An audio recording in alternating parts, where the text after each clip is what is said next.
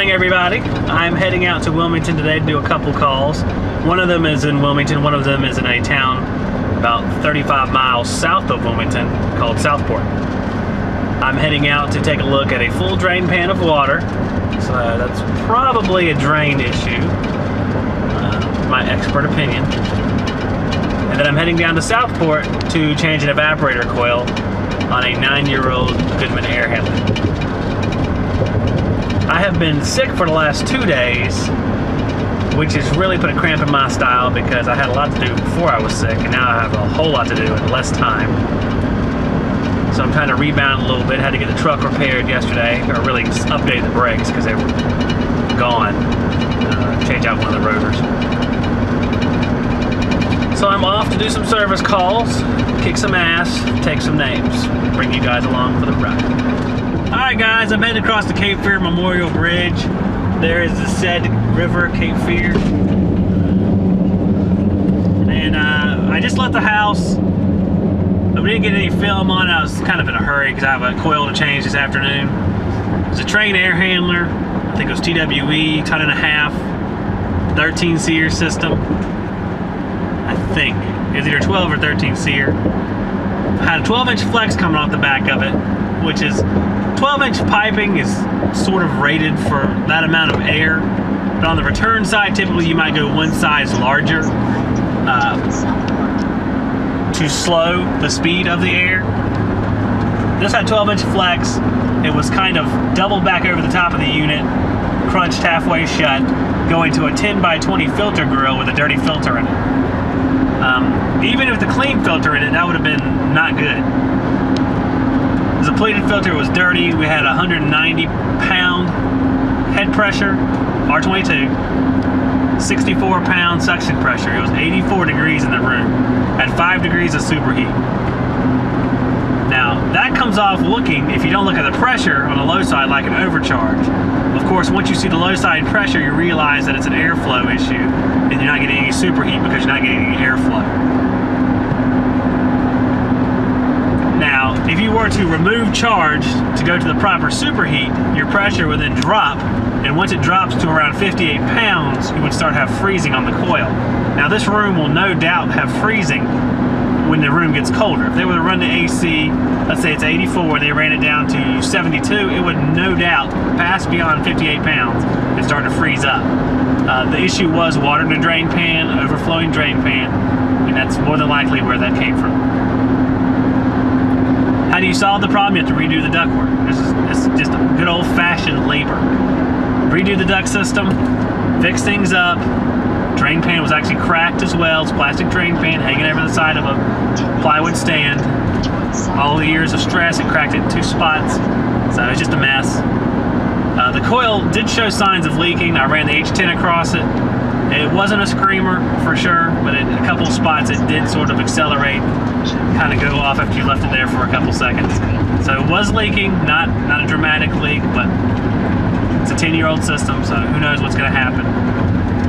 It is a rental property. Yep, and there's the next person. Alright guys, here we're up in an attic in Southport, North Carolina. Some interesting drain work there. uh, don't know if I would have done it like that there's a risk here that if the drain backs up, it'll back up into the secondary pan. And if it does that, then it will overflow because I don't see a float switch anywhere in the pan. So I'm letting the pressure off. There was only nitrogen on the system. It's been on there for a couple weeks, lost about 50 pounds. The coil's leaking pretty bad. The outer coil actually has a very small leak, but they don't have enough money to repair that. Or they have chosen not to repair it, just replace the indoor coil even though that is not a very wise idea as far as you can't do a proper repair and pull a vacuum on a system that has even a minute leak but this is what it is. So we're changing out a coil. The good thing is in a case like this you have the copper wrapping around the attic a big U pattern it's very easy to get enough copper to just cut it off and bring it right into the next coil. So it should be a pretty easy install of the coil in the other side, the Goodman puts the piston right at the entrance to the air handler, so it's very easy to reach that as well. Bar taking the piston out, save it, and away we go. Alright guys, here's our Goodman coil, a new one all in place. I put a little strap on, as well as there's a little groove it fits into in the back, which I don't think the other coil was fitting into, because when I took the strap off, it fell down. Uh, if you don't put it in the groove in the back, air will just rush around the back side of it, and it will not be cooled.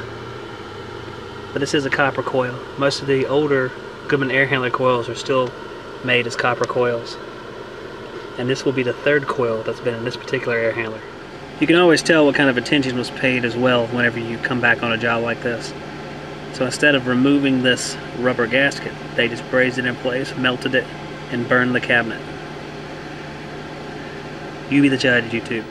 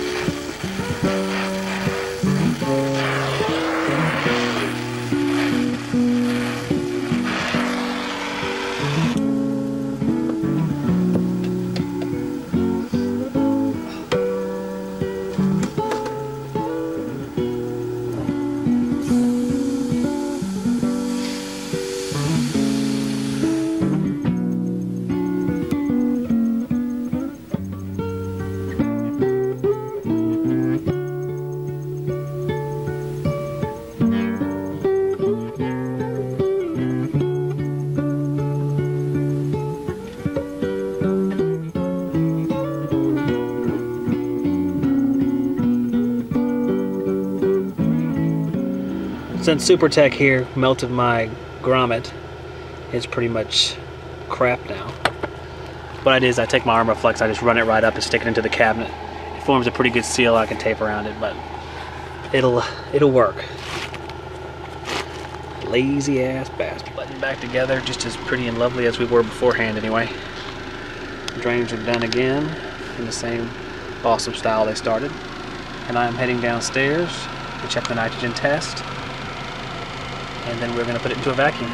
The pressure test with Fillmore gauge uh, 100 pounds. We are still there, so we are good to go. Hello guys, I'm leaving my evaporator change out, sitting in a little bit of small town traffic here. Something's afoot, I guess. Evaporator change out went fine.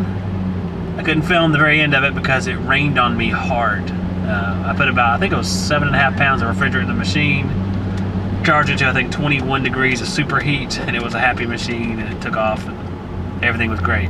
After I changed the capacitor, which was bad, and the compressor wasn't starting, which was frustrating, but I figured it was probably the capacitor.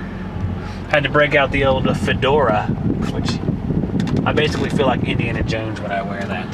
So that's why I wear it. But that's about it for today. I'm heading home so I can take off and go to Myrtle Beach, meet my family who's already heading down there for a softball tournament and a weekend of relaxation. And I will see you guys on the next one.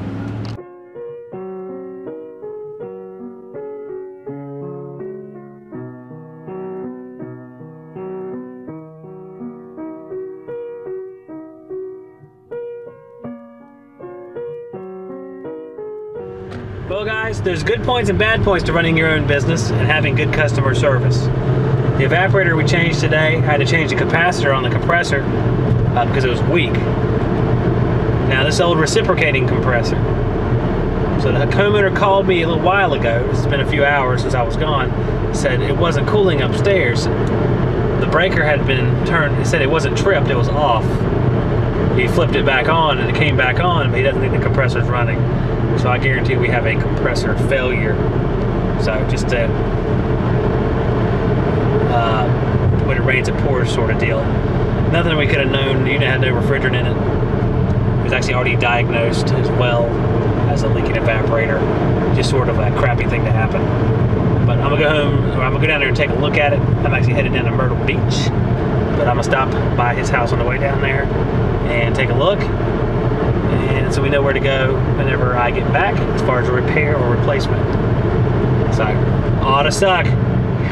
well, guys, I left the house. I'm heading, I'm in between Southport, North Carolina, and the South Carolina, North Carolina line. Heading down to Myrtle Beach. Very sad to say, the poor guy, his compressor is gone. It won't even attempt to start. Whenever I was servicing the unit today at the very end, I thought I smelled something very faintly, and I was actually assuming it was leak stop that I smelled. And it turns out that's probably what it was. I did an acid test just to make sure there wasn't anything else present that accounted for some kind of raunchy smell, but uh, was not the case. I'm assuming it was leak stop because the unit was leaking. Um, of course, I don't use leak stop. I really don't like it. A lot of people do use it. And now our compressor is not even attempting to start. Uh, electrically, no problem.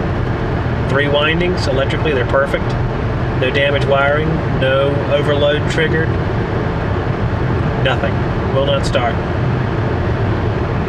But that's the way it goes sometimes, I guess. So we'll be coming back to that one, doing a few more repairs.